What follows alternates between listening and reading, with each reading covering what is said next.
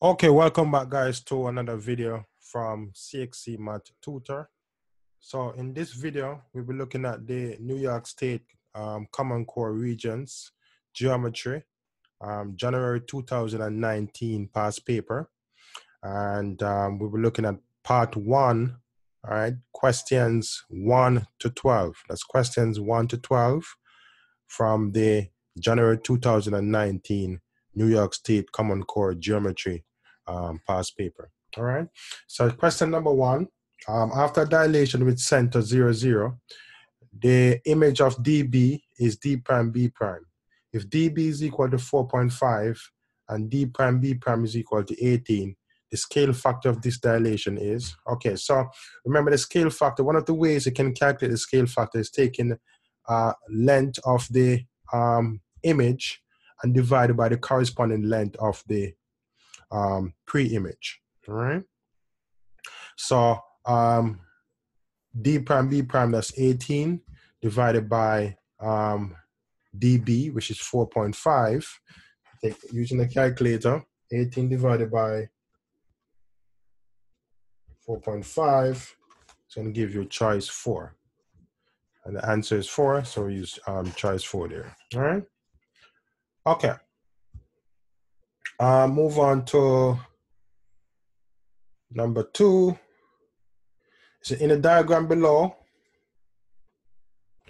um, triangle ABC, right, with sides of 13, 15, and 16 is mapped onto triangle DEF after a clockwise rotation of 90 degrees about point P, all right? And it said if DE is equal to um, 2x minus 1, all right, what is the value of x?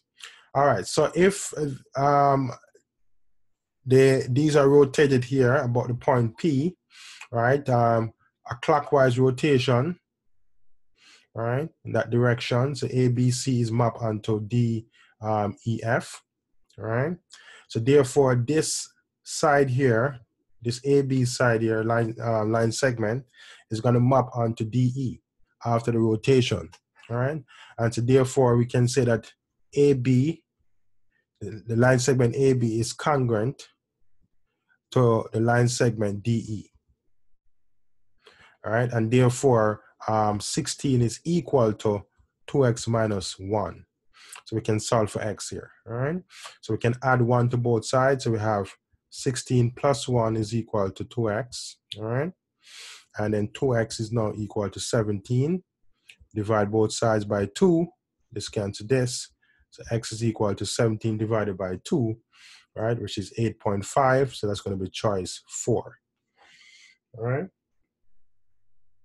Okay, so let's move on to question number 3.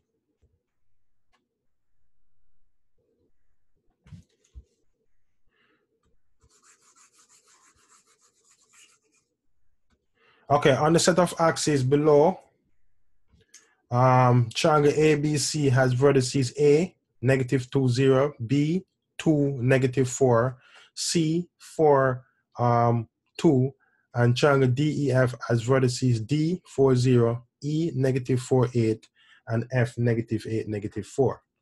All right? Okay, which um, sequence of transformation will map triangle ABC onto triangle DEF? All right. So, looking at this here, all right. Um,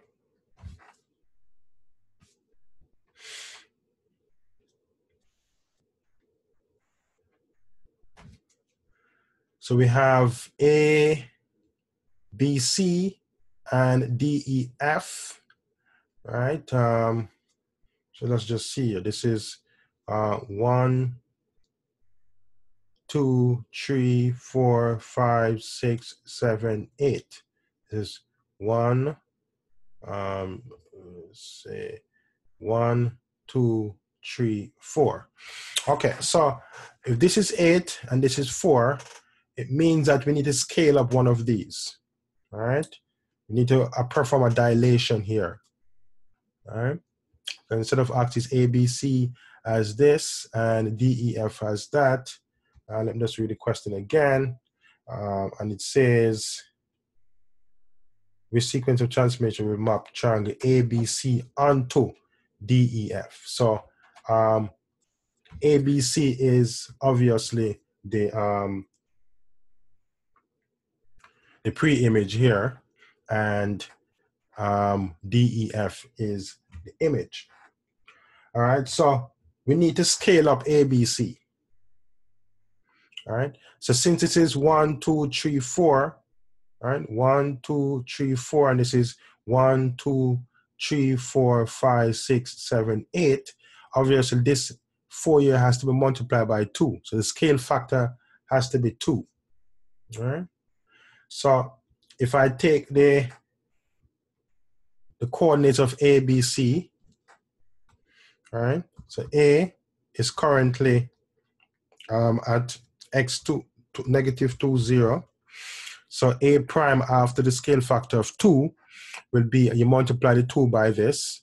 So that so A prime here will be um, negative 4 0. All right. So you have 2, 3, 4. So it's going to be here.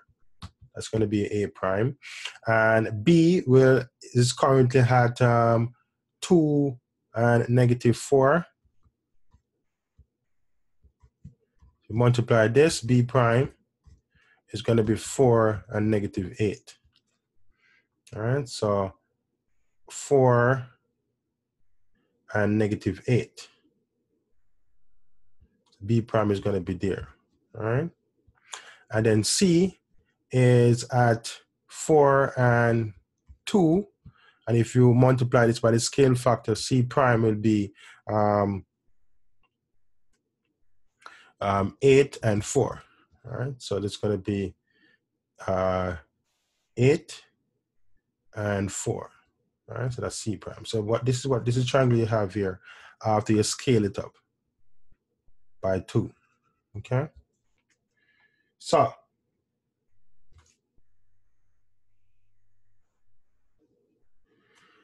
um, so after you perform the scale factor here, uh, the, sorry, the dilation, um, obviously you have to do a rotation here to get it back, to get, so you get this side here, over here, for example. So that's, that's gonna be 180 degrees rotation. All right, so it's a dilation followed by 180 degrees rotation, which is um, choice three. Okay. All right, let's move on. So number three is choice tree. Okay. Um, the figure below shows a rhombus with non-congruent diagonals. All right, non-congruent diagonals. I said, um, which transformation would not carry this rhombus onto itself? All right. So is it going to be a reflection over the um the short diagonal? No. All right. Is it going to be a reflection over the long diagonal? No. All right. Um, a clockwise rotation of 90 degrees about the intersection of the diagonals. Let's just see here. If you take this you wrote if you take this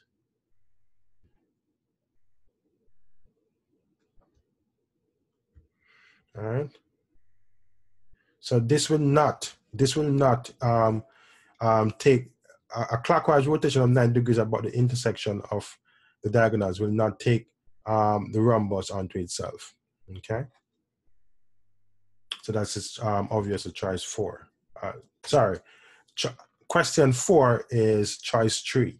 The answer is choice three. Okay. Um, question five.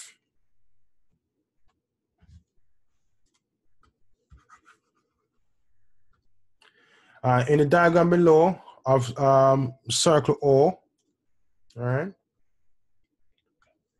um, points.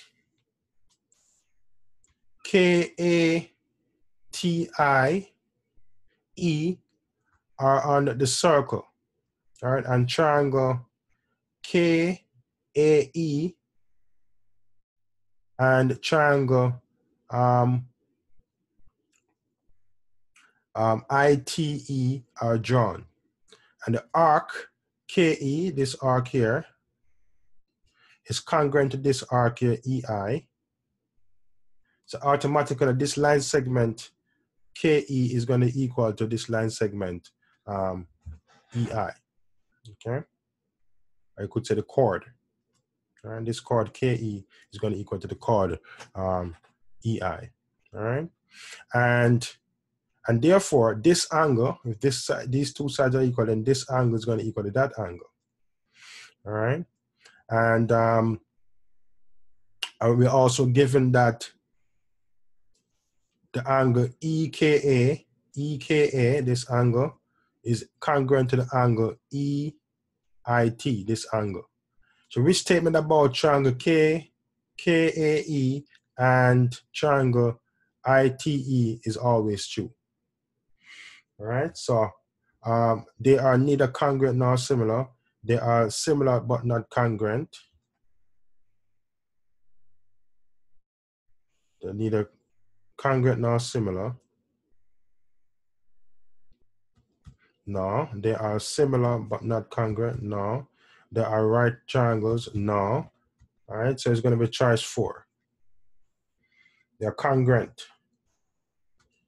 They are congruent by the, the, the angle, angle side, because this angle is equal to this angle, this angle is equal to this angle, this side is equal to that side. So a, the, the two triangles are congruent by the angle angle side postulate. All right. Okay, let's move on to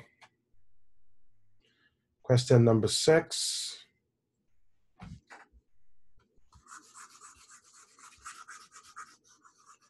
So,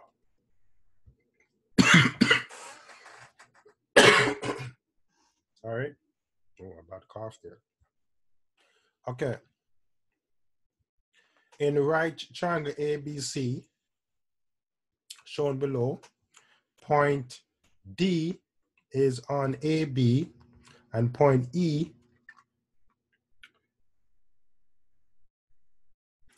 um, and point E is on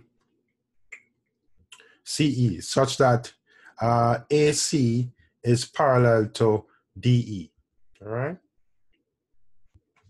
And if AB is equal to 15, all right, so this distance here is equal to 15, and BC is equal to 12. right? and EC is equal to 7. What is the length of DB? All right? It's the length of DB. Okay. Um, so if this is um, all of this is 12 and this is 7 here, CE 7. That means EB has to be um, 5 because 5 plus 7 gives us 12. But I take the 12 and I subtract the 7, that gives me 5 there. All right. Um, so we're trying to find the length of DB, which is X. All right. So we can use the fact that um, these two triangles are actually similar here, ABC and DBE. All right just similar triangles. Okay. Because this angle, these two, the angle here are actually reflexive angle for the triangle DBE and ABC. And this angle and this angle are, are congruent, and these angles are congruent here. Right? And we're told that um yeah, so yeah, so it's, a, it's it's it's it's definitely a similar triangle. So we can say that um 15, 15 over 12. You can use a ratio of the corresponding sides. So 15 over 12 is equal to x. All right, equal to x over um, 15 over 12. Uh, let's just see here.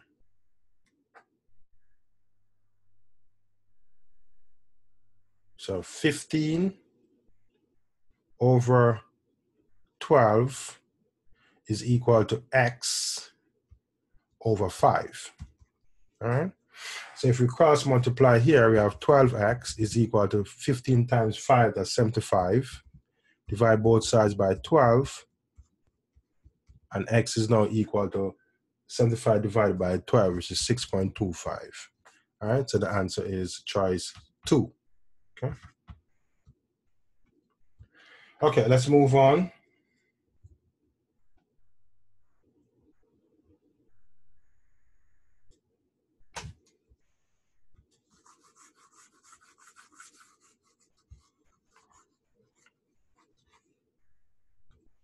Um, in rhombus VENU, right, diagonals VN and EU intersect at S. Okay. If VN is equal to 12 and EU is equal to 16, what is the perimeter of the rhombus? So we have some rhombus here. All right, it's not, this is not, not drawn to scale, obviously. All right.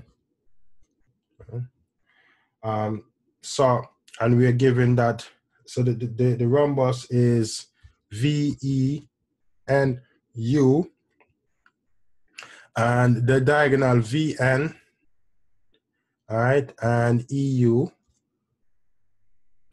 all right, intersect at X, S, sorry, all right, and VN is 12, and EU is 16. So if this is, if this is, um, uh, if Vn is 12, that means, remember that um, the diagonals of a rhombus bisect each other, right?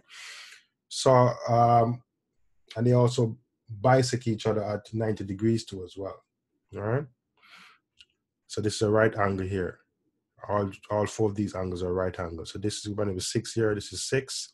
This is, if this is um, 16, then this would be 8 and this would be 8.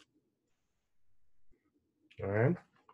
So we have a right angle triangle here. So we can use a Pythagoras theorem here, all right, or here, or here, or here, it doesn't matter, all right, to find the length of the hypotenuse here. So the length of the hypotenuse, x squared, is equal to 6 squared plus 8 squared.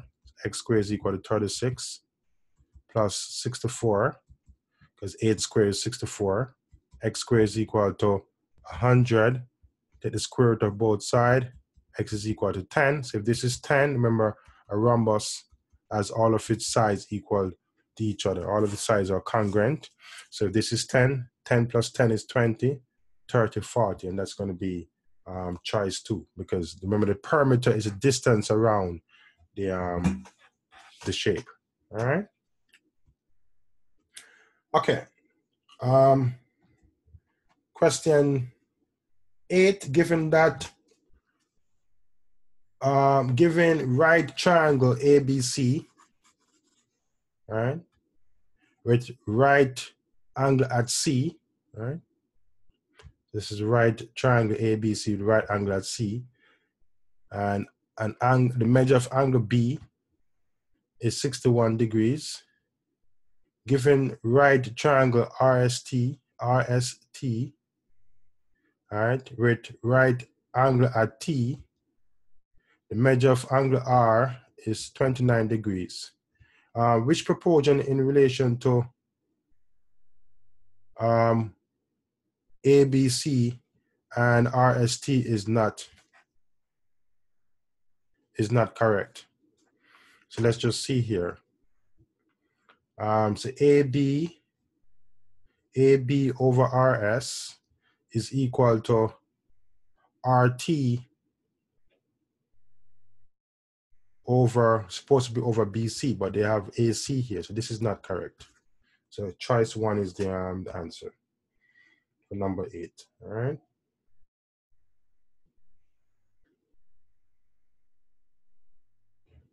Okay.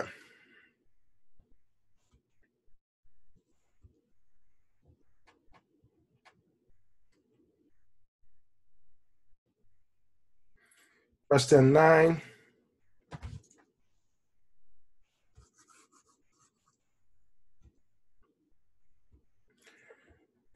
It a vendor is using an eight feet by eight feet tent for a craft fair. The legs of the tent are um, nine feet tall and the top forms a square pyramid with a height of three feet. That's a square pyramid here with a height of three feet. right? and it's the the um the leg of the um the tent. All right, and the question is that what is the volume in cubic feet um of the space that the tent um occupies? All right, so basically you have to, to find the volume of the um the pyramid here plus the volume of this um you know this this shape here at the bottom here. Okay. All right, so um, so remember the volume of our, our, our pyramid, right, is equal to one third the base area multiplied by the height, and plus you need to find the volume of this shape here, right, which is like a rectangular prism. All right. All right. So um, or this is a square here, so it's more like a square prism or something like that. Square base, a square cross section prism. All right, so um, plus, and plus you need to plus the volume of this uh, prism here, right, which is the eight times eight times nine, and this would be one third of the the area of the base. The area of the base is be eight times eight, so be eight square, all right, uh, multiplied by the height which is three. Right? Mm-hmm. So this give us 8 squared is 64 times 3. All right, which is 192 divided by 3. It's going to give us 64. And this is going to be us 8 times 8 is 64 times 9. Be 5 76. So the total volume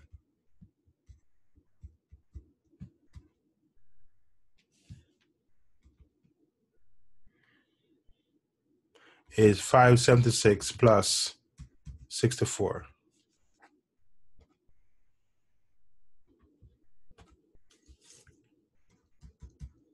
Hmm? All right. All right.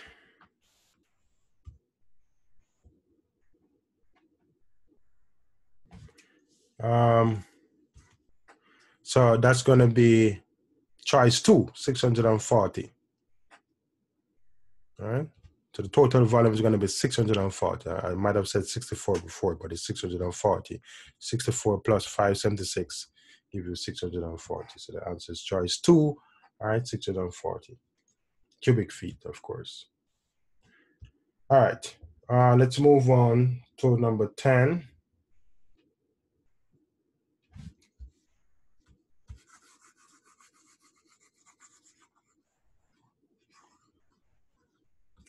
So in the diagram below of right triangle KMI, altitude IG is drawn to hypotenuse KM. All right. So of course, whenever you see something like this, you have to remember the um the right angle proportions. All right. And so we have KG is nine and IG is 12, that's the height. All right. And the length of IM, that's what we're trying to find. All right. So we can use um, the we can use the, the we can call this for example y all right because we need to find this. If we can find this length here this is a right angle triangle here. So this length plus this length and this length make up the right angle triangle. And so we can use a hypotenuse. Sorry we can use the pythagoras theorem to find x. But we need to find y first. And remember um, the, the proportions for right triangle uh, one of the proportions includes the, the height of the triangle. All right, so remember kg over the height is equal to the height over um, gm. All right, so this line segment here divided by the height is equal to the height divided by this line segment gm. All right, so kg is 9 over 12 is equal to the 12 over gm but we don't know. Let's call that y. So if we cross multiply here, we have 9y is equal to 12 times 12 is 144. So 144 divided by 9, that's going to give us 16. y equal to 16. So if this is 16 here, we can easily find x, im. That's what we're trying to find here. Because this is a right angle triangle here. So we can use a, um, the Pythagoras theorem here. All right which says x squared is equal to 12 squared plus 16 squared. All right, so x squared is equal to 144, that's 12 squared, plus 16 squared. Using my calculator here, it's going to be 256. 256 plus 144 is going to give us 400. And if I take the square root of both sides, x is equal to 20 All right, So that's equal to 20. All right. Um, and that's going to be choice three for your answer, okay? All right, let's move on to question number 11. It said, uh, let me erase this. Okay, it said which three-dimensional figure um, will result when a rectangle um, six inches long and five inches wide is continuously rotated about the longer side. All right, so uh, we have a rectangle that is um, six inches long and five inches wide, right? approximately. Right. It's always good to do a little quick sketch here. They have to be accurate. This is five and this is six, for example. And if you were to continuously rotate this um, about the longer side, obviously what you're going to get here is a cylinder. Okay, you're going to get a cylinder uh, with a radius of uh, five, five inches and a height of um, six inches. All right, as just by observation there. Right, so it's going to be choice three um, for your answer. A cylinder with a radius of five inches and a height of six inches. All right.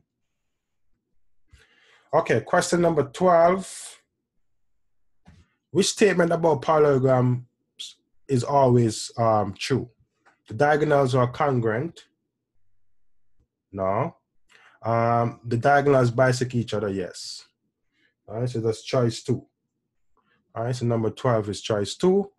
And that's it for this video. All right, um, so I will give, I will upload a next video for the other um, 12 or 13 questions, I believe. And um, that's going to be it for the um, the New York State Common Core Geometry Regents January 2019 past paper. All right. Okay, then thanks again.